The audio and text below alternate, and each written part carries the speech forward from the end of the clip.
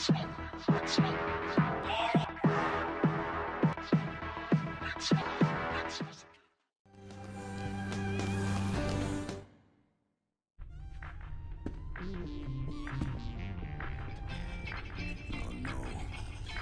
coming.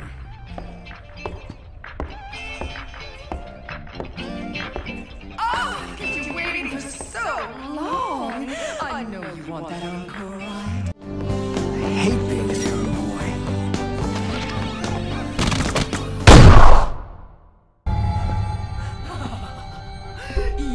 Had your chance to work with the entertainer of the new millennium, but your own selfish needs destroyed my comeback.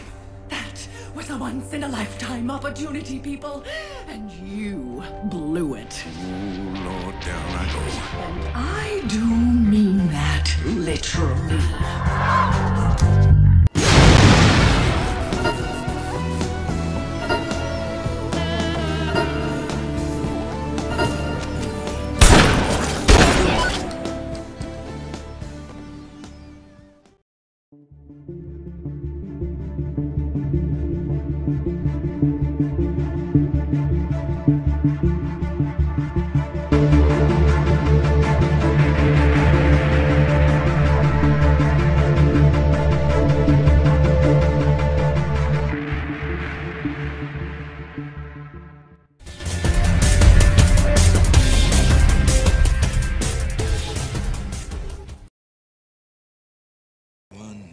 Ugly motherfucker.